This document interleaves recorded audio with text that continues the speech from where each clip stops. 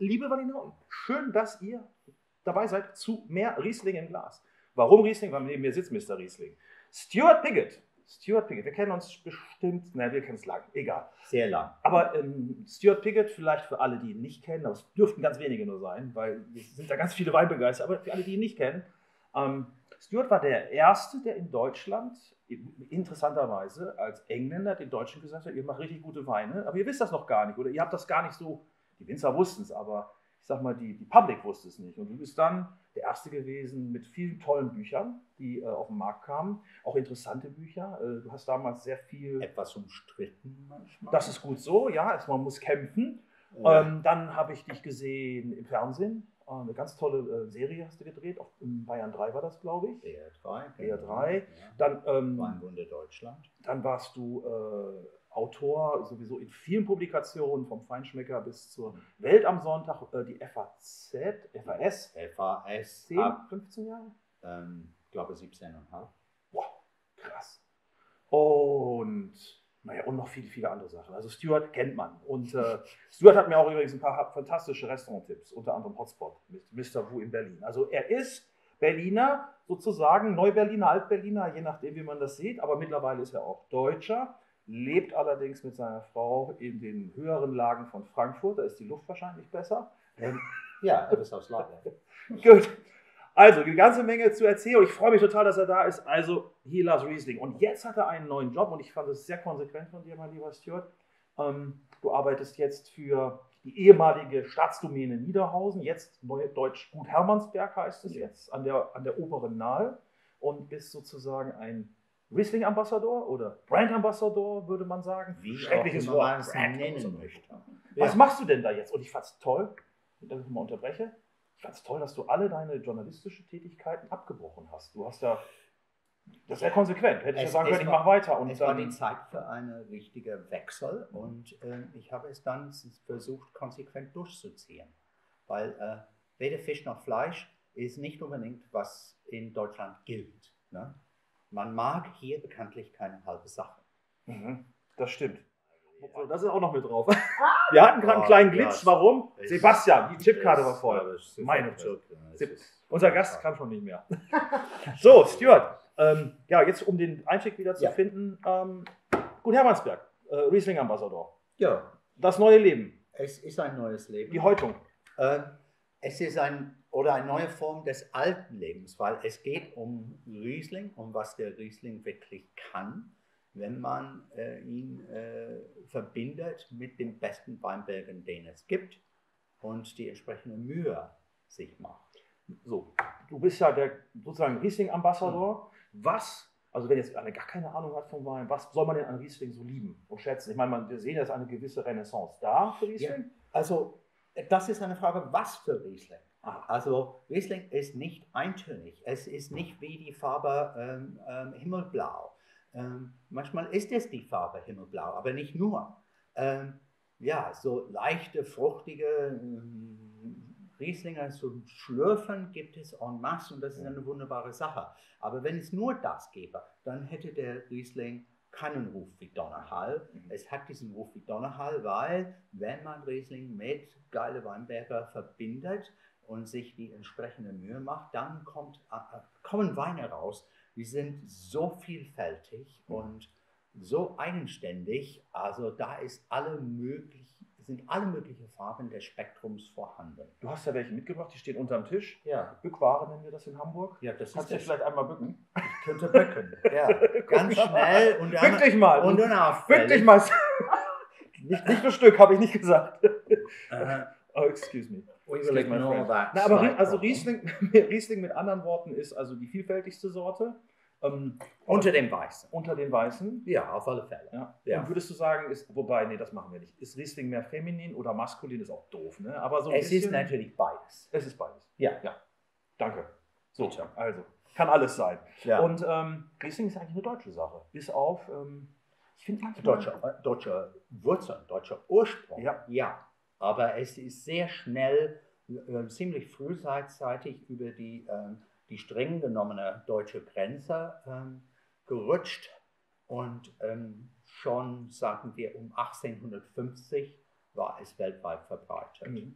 Ja. Weißt du, wie viele Hektar es gibt auf der Welt? Etwa 50.000. Und das meiste aber ist in Deutschland, ne? So Nein, ich würde, sagen, ich würde sagen, Deutschland mit 23.000 Hektar ist sowas wie 45 Prozent von der Weltfläche. Ja. Und dann ja. findet man Australien und Neuseeland ein bisschen. Ähm, ja, ja, Moment Washington. mal. Moment mal, zuerst Frankreich. Stimmt, stimmt, zwei, Nummer zwei. Ja, ja. Ähm, Österreich. Und Österreich darf man nicht vergessen. Ja. Ähm, es gibt sehr viele Länder mit einer kleinen Rieslingfläche. Also, ähm, und oftmals aus dieser kleinen Fläche also werden sehr bedeutende, sehr besuchte Weine erzeugt. Zum Beispiel Italien hat, hat nur einige hundert Hektar Riesling, aber eine Handvoll von diesen Gewächsen sind so ständig ausverkauft ähm, beim Weingut. Ist es nicht ein bisschen traurig manchmal, dass gerade, ich meine, wenn ich so gerade jetzt Australien denke, man sagt ja immer so, äh, neue Welt, hm, hm, hm. aber gerade in Australien, äh, die Australier haben die Liebe zum Riesling gefunden, weil sie ihre eigenen getrunken haben und dann gesagt haben, jetzt probieren wir mal die Deutschen. Und das ist, so glaube ich, ist genau doch auch so. in Amerika ähnlich gewesen, oder? Also mit Washington jetzt ist ja auch recht in den letzten Jahren ziemlich gestiegen. Ja, ja, und ähm, mhm. die, das ist wahr. Die mhm. Fläche in Washington State, im Nordwesten von der USA, hat sich etwa verdoppelt. Okay, also Riesling, äh, meinst du, die Fläche wird wachsen? Wir werden noch mehr, mehr sehen? Insgesamt, ich, ich erwarte, dass es bei 50.000 ähm, stabil bleibt, mhm. aber ein bisschen Umschichtung wird stattfinden. Das ganz sicher. Mhm. Für ein Land wird gut wachsen, der andere ein bisschen zurückgehen. So, ihr habt schon gesehen, wir machen hier eine kleine Blindprobe. Ähm, da möchte ich auch schon mal vor, vor, auch kurz zu sagen, Leute, bei Blindproben werden immer gemacht so ein bisschen als so, gerade unter Jungs, Armwrestling. Schaffst du es, kannst du es? Also ich finde, es ist eine große Kunst. Es macht auch Spaß, blind zu probieren, aber es soll auch, es soll auch ein Spaß bleiben. Und vor allen Dingen, also in diesem Fall, manchmal finde ich es gut, eine Blindprobe zu haben, nicht so sehr um rauszufinden, ob die Winzer oder der Winzer eine blaue Augenfarbe hat oder blonde Haare, sondern einfach mal unvoreingenommen von. Was ist da los? Was ist da, Was ist da los im genau. Glas? Das ist doch der, äh, schließlich die entscheidende Frage. Ist so viel und so viel Schönes im Glas los, dass ich diese Wein unbedingt trinken muss? Ja? Ja, das würde ich jetzt gerne mal von dir wissen. Warum muss ich den trinken? Oder ich kann ja sagen schon mal gleich, was ich denke, aber ja. du hast ja auch, das war ein bisschen unsere Idee heute, ja. du wolltest mir mal so ein paar Weine zeigen, woran du versinnbildlichst, dass auch in Deutschland oder überhaupt mit dem Riesling, nicht nur Deutschland, das ja. weiß ich ja gar nicht, ist mit dem Riesling viel passiert, gerade auf der Welt. Was passiert denn da? Man lotet neue Möglichkeiten aus. Und äh, mhm. manch dieser neue Möglichkeiten sind alte Möglichkeiten, denen es irgendwann mal vor 70, 100, 150 Jahre schon gab, aber die in Vergessenheit geraten sind. Aber dann gibt es die wirklich ganz neue Dinge, also Ortschaften, von denen ich noch nie ein Wort gehört habe. Ähm, und plöt plötzlich werden großartige Weine da erzeugt. Ja, wo wäre das, Ortschaften? Also Zum Beispiel Dittelsheim-Hessloch in Rheinhessen ist nicht unbedingt ein weltberühmter Riesling-Ortschaft ähm, oder, äh, oder Gemeinde, aber ähm, da werden einige tolle Weine erzeugt. Hat das was mit den Menschen oder mit dem Klimawandel zu tun oder weil sie es nicht begriffen haben, dass sie es haben? ich glaube, lange Zeit würde einfach ähm, nicht begriffen, was für Möglichkeiten vorhanden waren. Und dann kamen junge Winzer, die gesagt haben, ich glaube, dass es hier doch möglich ist. Und jetzt versuchen wir es und wir schauen einfach, was rausspringt. Mhm. Ja? Und da denke ich in dem konkreten Fall an jemanden namens Stefan Winter. Ja, und als ich äh, sein erster Wein, das war 2004, habe ich zum ersten Mal einen Wein von ihm probiert. Ich glaube, er war 22 Jahre alt. Hm. Ja, da bist du schon jemand, der früh den jungen Leuten auf die Schulter geklopft hat, dass sie weitergehen sollen. Also mal jetzt vielleicht mal mhm. zu dem Wein. Ähm, was mir auffällt, erstmal im Geschmack, also bevor ich mal zum Geruch hm. komme, ja. er hat eine ziemlich hohe, ganz klare, fast wie so ein Laserstrahl geht das über die Zunge, eine unglaublich klare Säure und ähm, der kann auf irgendwelchen Residual, also Restzucker verzichten. Der wirkt auf jeden Fall sehr, sehr trocken. Er wirkt sehr, sehr trocken, das muss, muss man auch sagen. Ja. Knochentrocken, also das, die, die, der Gaumen finde ich super, weil er so eine Brillanz hat, so eine Klarheit. Schafft keine Sorte der Welt. Ja, welche andere Sorte schafft das? Ich bin also ganz selten, wenn man viel Glück hat, Chenin Blanc, aber äh, eigentlich selten. Ja. ja, stimmt. Chenin Blanc kann eher wahrscheinlich Loire-Style, aber Ja. Riesling auch. Und jetzt von der Nase her, also hier, man merkt ähm, schon, es ist nicht Konfektionsware. Also, ja, Konfektion ist häufig das, was, was Es die ist, Hefe nicht, es ist nicht himmelblau. Nee. nee. Nein, aber er hat nicht dieses, dieses ähm, primär fruchtige oder dieses hefegeprägte Aroma, was so ein bisschen uniform ist. Und Mhm. das wäre ja auch ein bisschen manchmal meine Kritik, dass manche Winzer sich zu sehr auf die Sicherheit verlassen, aber wer eben Spaß Frutti. Ja. ja, der Ja. muss eben ein bisschen mehr leisten. Also das, der muss auch mal Risiko gehen. Das Risiko, das ist wahrscheinlich German Angst manchmal, sage ich. Gibt beim Fußball. ja, aber diese Angst gibt es äh, woanders auf dem, äh, auf der Das. Kugel auch. Das stimmt. Ja? Ja, müssen wir unseren Licht Das ist unseren- nicht nur unser Problem. Nein, das stimmt. Genau. Aber manchmal Nein. denke ich, Mann, das ist noch mehr möglich. Also vielleicht so. Ich verstehe das, ja. Ja. Oftmals äh, frage ich mich auch, dieses ganze Aufwand im Weinberg, um tolle Trauben zu haben und dann an der letzten Moment äh, Zaubermittel rein. Zaubermittel. Hefe. Ja, Bumm. kräftig rühren, alles wird gut. Also das hat er nicht. Der hat eine spontan, für mich eine Nase, die so richtig spontan, Absolut, wild, das ist ein spontan vergorener Wein. Ja. Ja, Dann- zu 100 Prozent. Dann, was, ich, was mir gefällt, ist, dass er nicht ein warmes, es scheint ein bisschen kühler, moderateres Klima zu sein. Also Riesling braucht er schon warme Stellen, um, glaube ich, perfekt auszureifen. Ja. Aber es ist keine üppige, so voll also ja, üppig, ja, ich, tut mir leid. Immer, Alles okay. äl, ältere, ältere Herren fällt immer meistens nur Erotik. Wir haben meistens Wir keine nicht, Möglichkeit. wir nicht. Ja, die Ich- Jungen ich sagen, bin- nee, komm, das Ich ist bin doch ein alles so. Waisenkind, ne? Ich bin Also, der Saubermann. Das ist auf jeden. Fall schlank und athletisch. So, jetzt habe ich's. Sehr Ja. gut. Sehr Oder gut. so, der ist sehnig. Der hat hier, der hat einen gespannten, straffen Unterarm und Oberarm aber auch. Ein bisschen. Aber nicht solche Dinger, nicht Ja. aufgepumpt, Ja. sondern definiert. Ja, Long Distance Runner, So. Langläufer. Und dann ist er auch vielleicht, das ist noch sehr jung, aber vielleicht hat er schon ein, zwei Jahre hat er schon. Also, Das ist ein 18. so, wow. Jahrgänge könnte man natürlich viel quatschen. Äh, ein Jahrgang, der theoretisch ähm, säurearm ist, ähm, die Weine rund, gefällig, ähm, ja, bla bla bla. Dann finde ich so eine, ähm, ich weiß, ich meine, weiß nicht, diese ganzen Metaphern aus der Sommelier oder auch Das ist Weinjournalisten. alles erlaubt. Finde ich auch. Ja. Also für mich ist das mehr Quitte, Zitrusfrucht, das ist ein bisschen grüner Apfel, es ist nicht der Boskop-Apfel. Hm. Ähm, hier ist auch eine schöne Mineralität drin. Ich denke fast immer so ein bisschen fast an Schiefer sogar, weil der Schiefer bringt manchmal so eine Würze.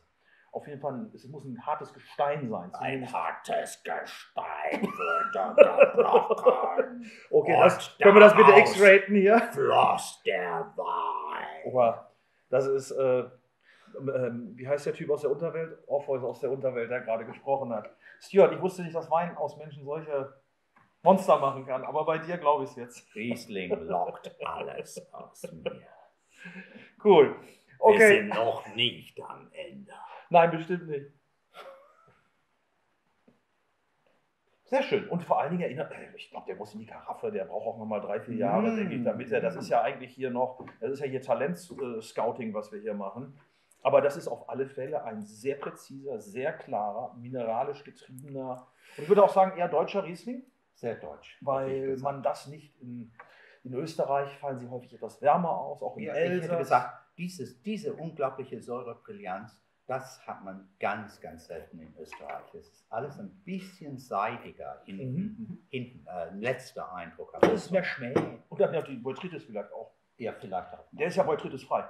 Das ist 100% saubere Traube. Mhm. Auch sehr ähm, präzise gelesen, nämlich nicht zu lange gewartet. Das Sehr gut erkannt, exakt so. Ja, Rechtzeitig gelesen. Alkohol 12,5, 13. sehr gut, 12,5. Ja. Mann, ey, Alter. Jetzt müsste ich nur noch wissen, welche, welche Region in Deutschland. So ein bisschen was hat er von der Mosel, glaube ich aber nicht. Ähm, obwohl die Trockenheit mittlerweile, das gibt es auch an der Mosel. Also von der Stilistik eher wahrscheinlich sowas, wie du eben sagtest, so eine B-Lage Rheinhessen, die man nicht auf dem Zettel hat. Ja, also die jetzt eine A-Lage wird, äh, weil sich viele Dinge ändern. Ähm, ich glaube zum Beispiel nicht von dem harten Stein gesprochen. Ja, das und das stimmt. Es ist ein harten Stein. Gut, Franken hat natürlich so ein bisschen solche Steine, wenn man mal sagt, dass Kalkstein so hart ist. Mhm. Ähm, aber auch dort finde ich diese, das könnte Pfalz sein. Pfalz, wobei, Wo ist der harte Stein in die Pfalz? ja, im Norden vor allen Dingen, an der, an der Mittelhart, ne? Mhm. Wobei ja das so, ein, so eine Abbruchkante ist mit allen möglichen Mhm. Sachen. Da finden wir Basalt, da finden wir Kalk, da finden wir Schiefer, finden wir alles an, in der Pfalz am Boden. Das wäre zumindest so eine Art, die wir, wenn es ein Pfälzer ist, dann fände ich ihn ziemlich cool. Ja, durch ein Anbaugebiet, was wir gerne vergessen bei Riesling, das ist das, für, das Weingut, wofür du auch arbeitest. Gut Hermannsberg.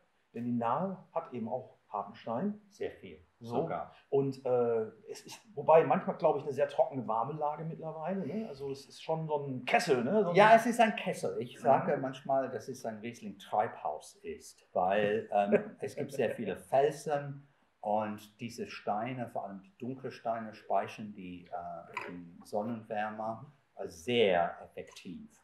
Ja. Vielleicht ist es ja sogar vom Gut Hermannsberg.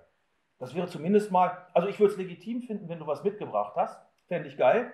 Und wenn es was ist, muss ich mich ein bisschen revidieren, weil ich habe manchmal bei Gut Hermannsberg, manchmal, sind die Weine ein bisschen schon üppig. Äh, geraten sie mir. Also wenn es das ist, ist es fantastisch. Das ist es sogar. Das ist unsere, unsere neuen Baby. Super. Es heißt oh, sieben, toll. sieben Terroirs. Das ist sehr gut. Das ist ein Cuvée aus unseren sieben Spitzenlagen, also sieben GG oder Grand Cru Lagen. Also aus den ähm, besten Lagen des Hauses, eine, ist das dann Wir haben nur diese sieben Grand Cru Lagen, wir haben nichts anderes. Ihr seid doch Grand Cru Lage insgesamt, oder? Ja, 30 Hektar. Ja, krass. Das ist krass, ja. aber kann es sein, dass das so ein bisschen, vielleicht der Jahrgang natürlich, aber dass das hm. auch so ein, etwas eine neue Stilistik definiert, dieses etwas präzisere, noch frischere, ähm, klarere Element, oder war das sagen, immer so? Ähm, äh, gewisse Konsequenzen würden aus den letzten Jahren gezogen. Okay. Und wir wollen diese Seite des Weins noch mehr betonen. Mhm. Ja? Ja, okay. Ja. Was kostet der Stoff? 11,90 die Flasche. Das ist ziemlich gut. Da ist, da glaube ich, muss man wirklich fairerweise sagen, ist deutscher Wein nach wie vor sehr Ein günstig. unglaubliche Preisleistung. Ja. Also nicht nur dieser, also zahlreicher. Ja. zahlreicher. Sehr gut. Ja. Toll. Und äh, ist ja auch viel passiert so mit dem Labeling etc. Der war ja früher immer, gab es ja, wobei es ja Preußenadler, Leute, also beruhigt euch. Ähm, ja, ich hatte mal. Das ist der königlich preußische Adler tatsächlich, ja. ja. Ich habe mal bei. Und er ist etwas älter als eine gewisse Adolf Hitler, ne? Ach, das ist eben bescheuert da manchmal. Ich verstehe, dass da eine Sensibilität herrscht. Sollte gerade jetzt, Wobei die sehen manchmal ganz anders aus und die sind auch auf Ibiza zu finden, diese Leute. Hallo! In, Grüße nach Österreich. In Urlaub. Ja. auf jeden Fall, ich wollte nur sagen, ich hatte mal eine Fernsehsendung, habe ich die mitgebracht, da kam ja. einer aus der Regie. Jetzt reicht's aber hier mit der Faschisten-Heraldik und so. Und ich sage, nein, Moment, beruhig dich doch mal. 1870, sag mal, kennt keine deutsche Geschichte? Blöd. Toller Wein. Super. Mann. Und ich würde ihn gerne in zwei, drei Jahren nochmal trinken. Absolut. Für mich ja. auch in zwei, drei Jahren ist der optimale Zeitpunkt. Wollen wir ein bisschen Punching machen? Jetzt hast du einen, jetzt mache ich mal meinen. Selbstverständlich. So. Okay, also ich habe, so viel kann ich sagen, wir haben ja gesagt, Riesling ist das Thema. Ja. Gut.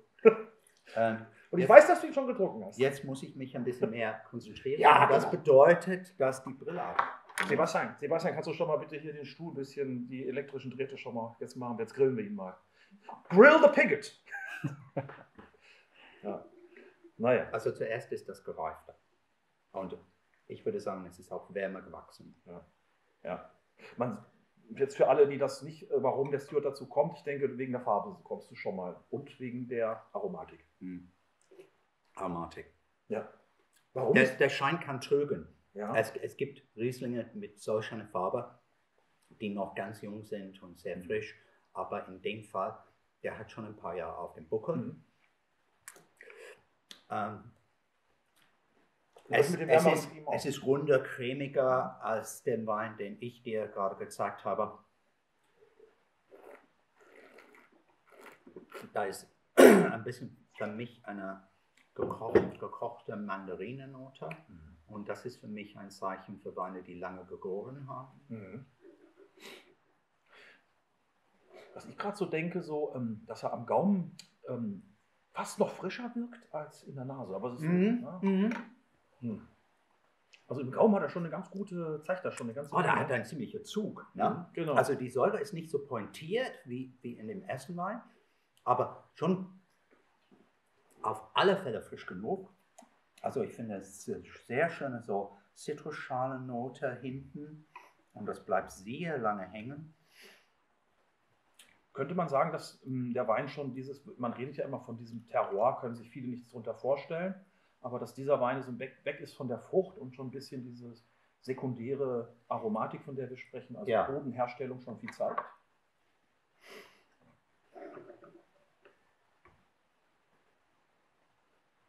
Ich finde, er hat schon Mineralität. Ne? Aber Ja, aber es ist nicht so plakat. Also im ersten Wein, das war super, diese mineralische Ja, Note war super markant. Ja. Entweder magst du das oder du Ja. sagst, bitte nimm, nimm es weg, bring mir einen anderen Wein.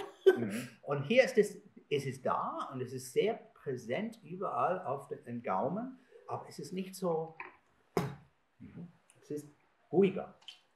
Mhm. Also für mich ist es mein Wein, den ich fast lieber trinke als rieche, wobei äh, riechen tue ich auch gerne. Ich brauche einfach ein bisschen länger.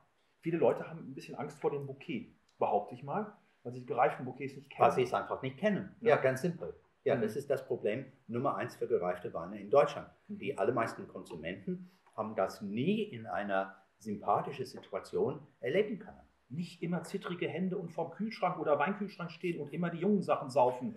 Mann, lass den Dingen doch mal Zeit. Nein, ist wirklich so. Ich habe auch Zeit gebraucht. der Jugendwahn nervt, beim Wein zumindest. Ja. Ansonsten finde ich es schön anzugucken, aber insgesamt.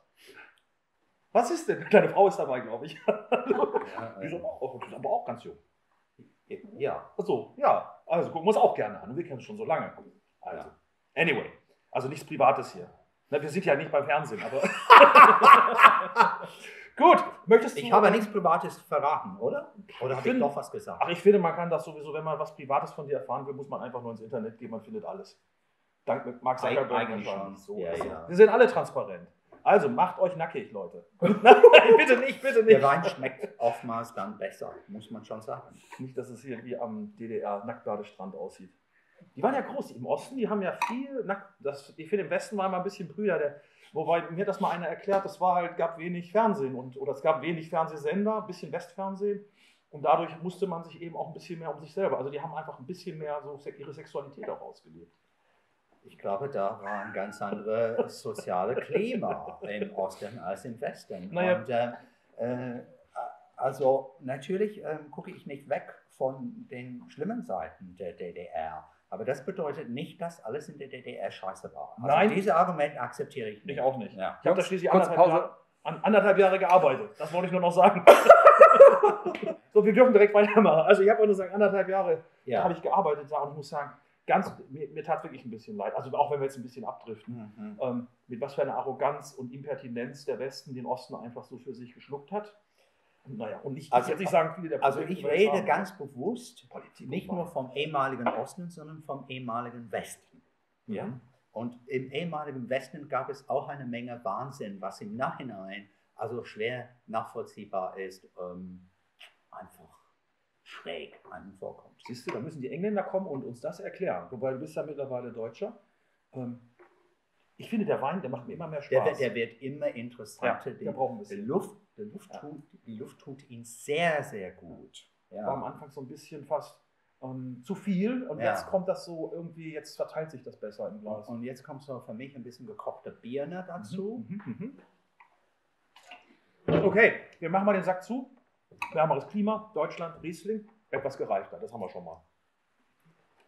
Boden könnte. Also ich wäre in die Pfalz. Mhm. Ich wäre in der klassischen Mittelhart. Und da ist der dominante Bodentyp der Buntsandstein, aber es gibt auch Lagen mit kalkhaltigen Böden. Und sogar, ich würde sagen, äh, eigentlich ein Teil der Geschichte von der Pfalz der letzten Zeit ist die Wiederentdeckung von diesen kalkhaltigen Lagen. 100% richtig. Jahrgang?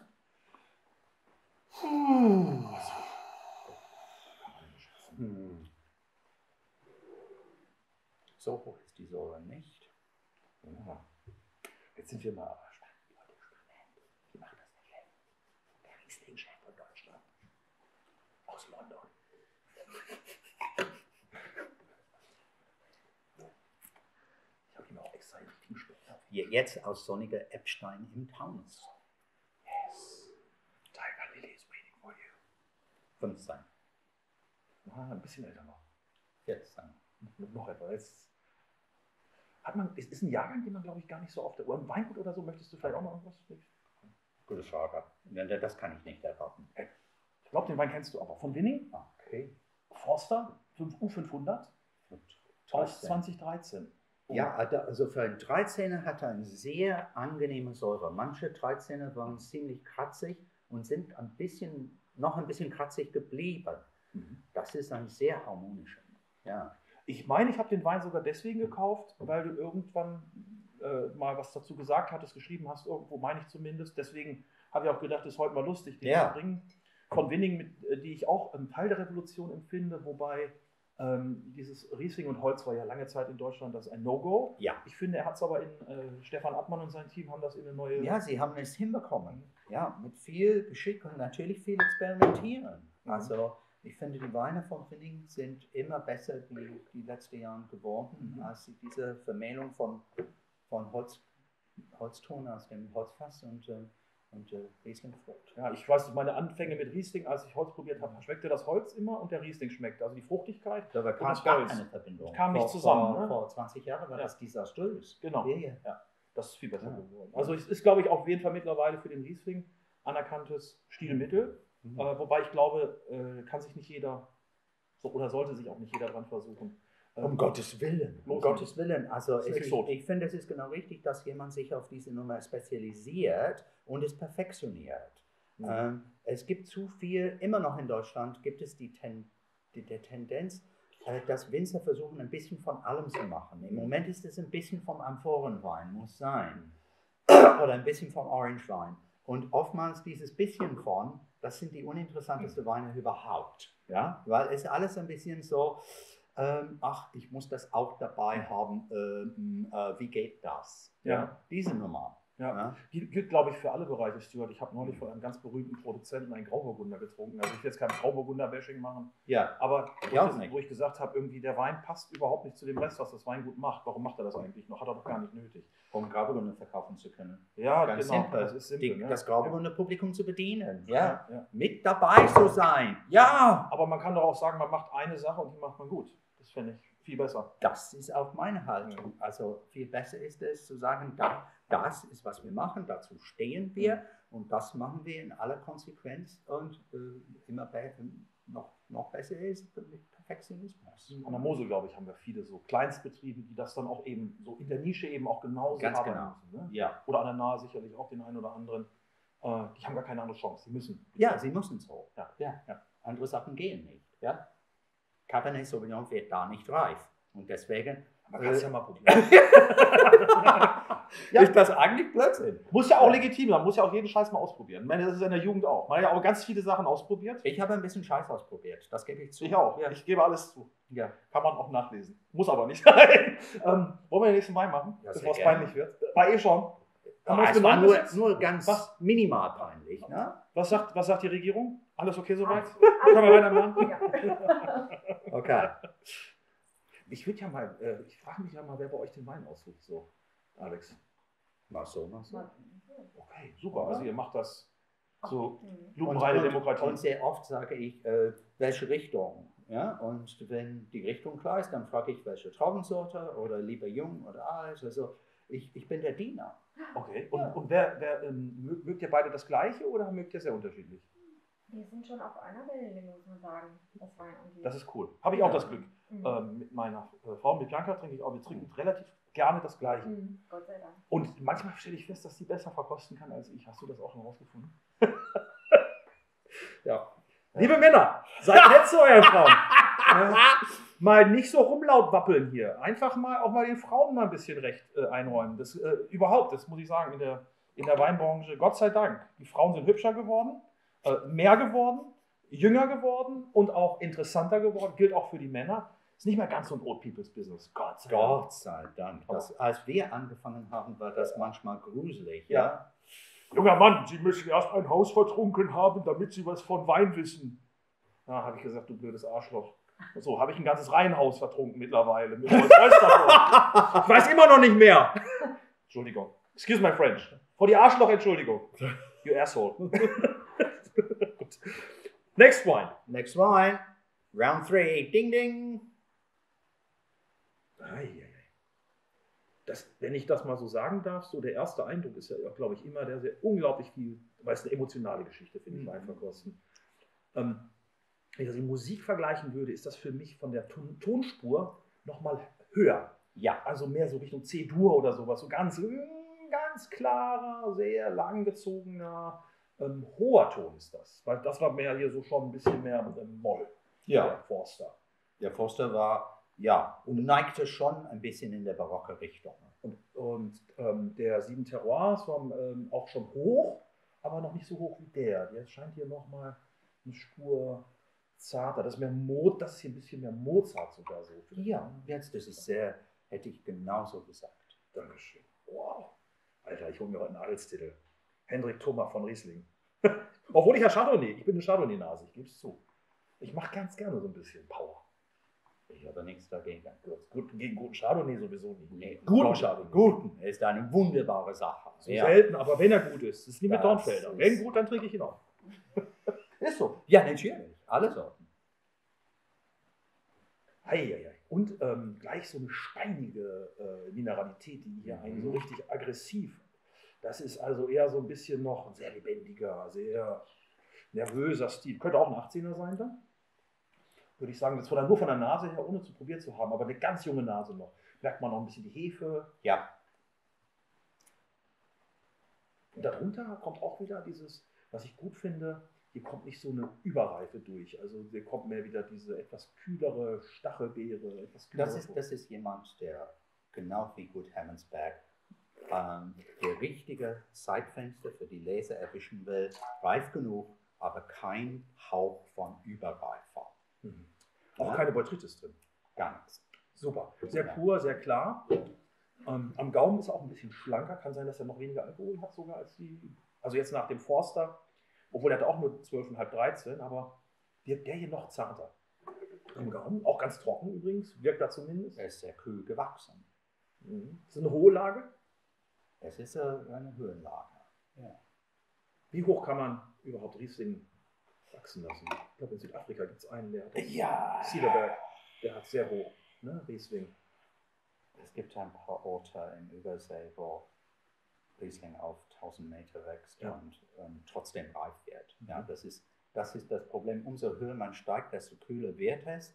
Ähm, in Südafrika die extreme Höhenlagen, man hat das Problem im Sommer Frost nachts auf dem Boden. Mhm. Ja, so extremer. Mhm. Das ist ein extremes Klima, ne? im Sommer. Ne? Bei uns würde das nie, nicht in den kältesten Jahr, den man sich vorstellen kann, vorkommen. Mhm. Das ist nicht machbar. Ja, in Deutschland die höchsten Lagen wahrscheinlich für Riesling sind so bei 400 Meter So oder was, so. Ne? denke ich. Ich Ja. arbeite mit dem Winzer an der Nahe auch, mit Markus in Auen. Hm. Markus ich glaube, seine höchsten Weinberge sind 400. Ähm, aber zurück hierzu.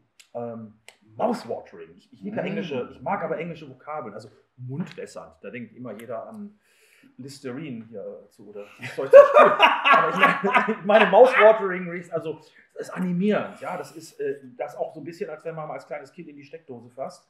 Habe ich zumindest und einmal so brrr macht. so, so ein bisschen ist das, ja. Ist ein Steckdosenwein.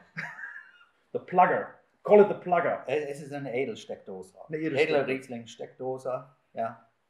Also trockener Riesling war ja lange Zeit verpönt, auch in deiner alten Heimat. Ähm, Da haben die ja nur so restsüß getrunken und äh, wir sind, glaube ich, auch ein bisschen selbst schuld daran, dass man Ja, immer nur klar. eine Seite gezeigt hat. ja, so Ist ist, es, ist es besser geworden?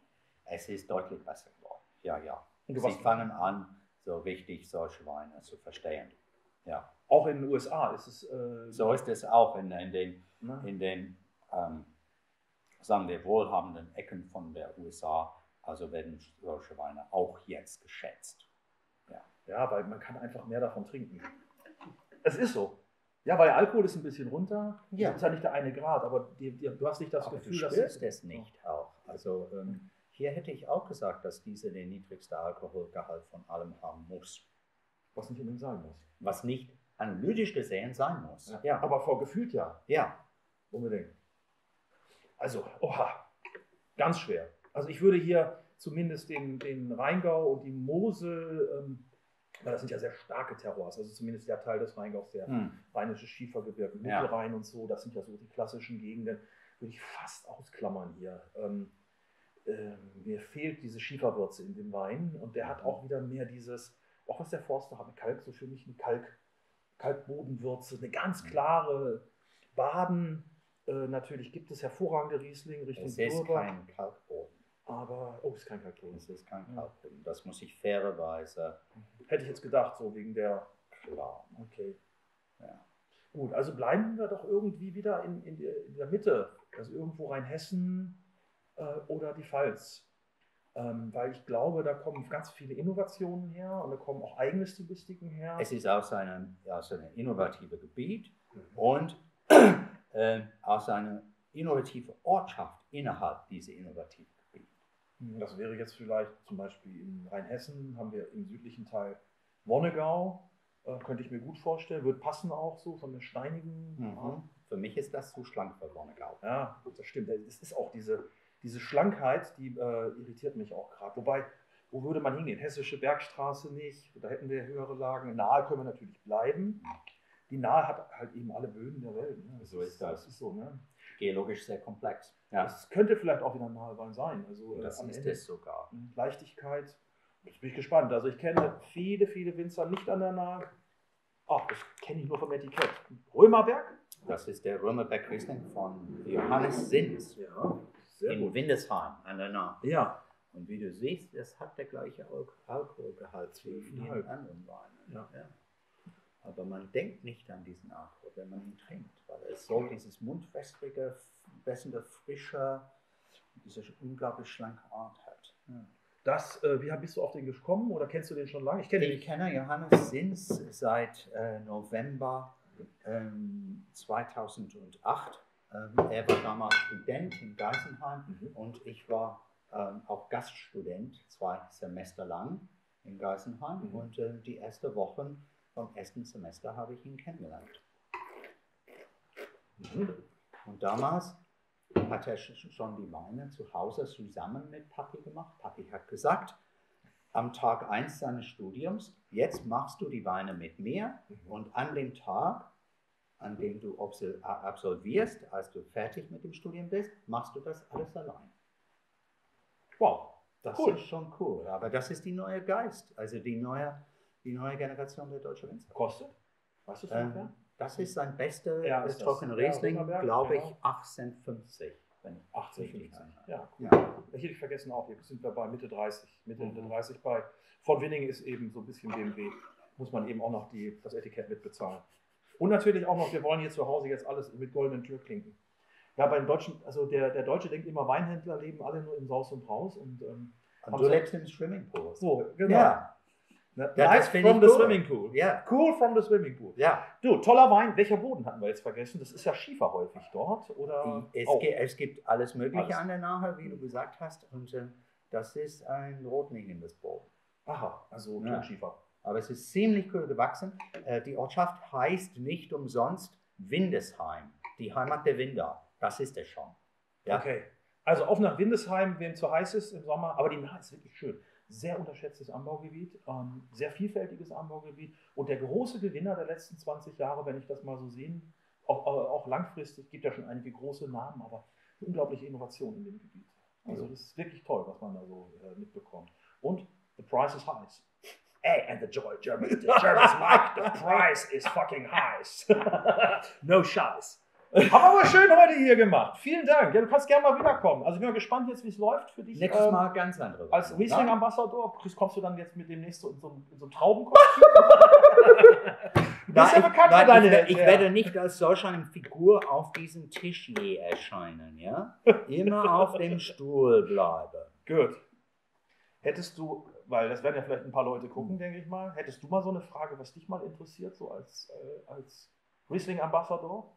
Vielleicht, wenn ihr Lust habt und das Video wirklich bis zum Ende gesehen habt, es sind ja zwei geworden, aber wir machen das manchmal so am Ende der Show für alle, die, die, die hartgebliebenen, hartgesonnenen. Ich bin für alle Fragen offen. Und hast du eine? Äh, wie ich selber. Ich habe nur Fragen. Ja, welche denn? Umso mehr, umso mehr man lernt, desto mehr man feststellt, dass man nicht weiß, was wirklich Sache ist. Seid ihr auch dabei? In dem Sinn, schreibt dem Stuart. Dankeschön. Vielen Dank, Stuart. Das war Bitte, toll. danke Und Dankeschön auch nochmal an Alex. Schön, dass du, dass du das äh, eingeläutet hast, dass der Riesling-Ambassador mal hier zu uns im Pool kam. Macht's gerne. gut. Dankeschön. Tschüss. Ja, tschüssi. Vielen Dank.